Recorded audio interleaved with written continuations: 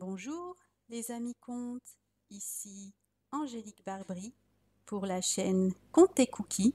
Je vous propose de vous emmener au pays de l'imaginaire. Prêt pour ce voyage?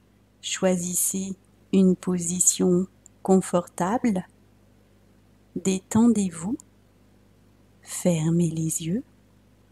Ouvrez grand les oreilles et laissez-vous bercer par cette histoire que je vais vous raconter.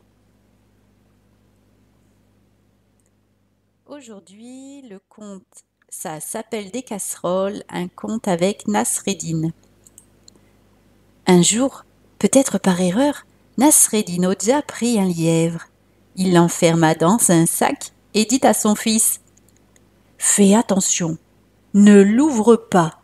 Quand je reviendrai, nous l'ouvrirons ensemble, et ainsi nous saurons quel animal est à l'intérieur. Le père partit.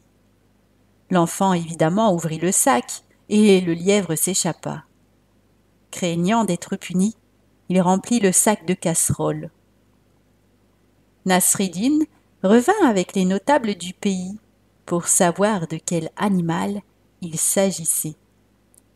Il ouvrit le sac vit les casseroles et, sans se démonter, dit Mesdames et messieurs, regardez bien, ça s'appelle des casseroles.